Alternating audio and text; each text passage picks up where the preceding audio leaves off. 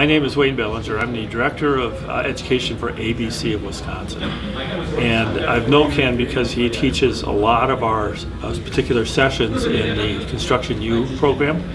Uh, he's involved uh, very closely with all of the programs and has helped kind of shape this program into a premier um, statewide uh, management education program for construction companies.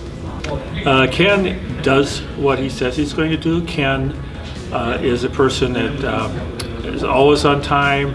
Uh, he always exceeds expectations. Ken's goal, and it's the goal of our Construction U program, is to change cultures uh, within construction companies.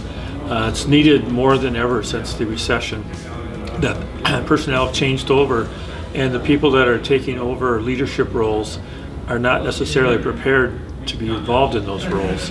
So the Construction U program and what in Ken's portion of it is bringing people to the realization that they are leaders